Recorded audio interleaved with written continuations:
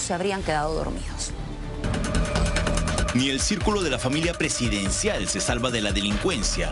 Esta vez dos efectivos policiales que resguardaban al hijo de la presidenta de la República, Dina Boluarte, fueron víctimas de tres ladrones que llegaron armados y los encañonaron para llevarse todas sus pertenencias. El hecho se produjo cerca de las 10.20 de la noche en el jirón Osvaldo Ercelles, en el distrito de La Victoria. Ambos efectivos identificados como el capitán Nelson Pineda y el suboficial de segunda, Joseph Cáceres, se encontraban presuntamente resguardando al hijo de la presidenta de la República durante una visita en el lugar. Sin embargo, mientras lo esperaban es que llegan estos sujetos y los encañonan por sorpresa. Ambos policías se encontraban al interior de un vehículo blanco. Entonces que los tres ladrones llegan a bordo de un auto negro. Dos de ellos bajan con armas y encañonan a los agentes.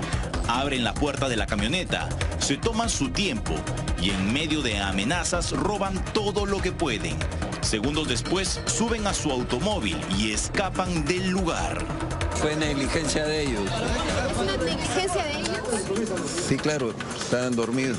Estos delincuentes robaron cuatro caserinas con un total de 55 balas, un reloj y celulares también a ambos efectivos policiales que se encontraban exactamente en este lugar. Al momento que se nos acercó, nos enseñó la placa. Y nos dijo, disculpe, soy oficial de la policía, no se vayan a asustar. Entonces le dije, no, no, señor, ¿qué pasa? No, nos acaban de asaltar. Entonces me dijo, queremos ver cámaras. Lo que pasa es que le digo, la cámara de acá el señor no capta hasta allá abajo y, mi cámara solamente es este, interna, o sea, no tiene grabación, es una cámara antigua.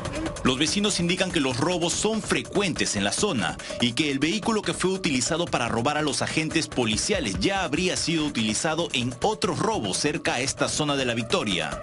Ya solo tres casas de donde ocurrió este robo está la casa del alcalde de La Victoria, a quien hace algunas semanas le dejaron un arreglo floral con un explosivo.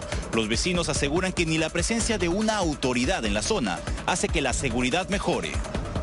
Sí, han robado televisión, la cocina que era pegado, se me han, han querido llevarse todo, se han llevado varias cosas mientras que el ministro aseguró que se iniciará un proceso sancionador en contra de ambos agentes.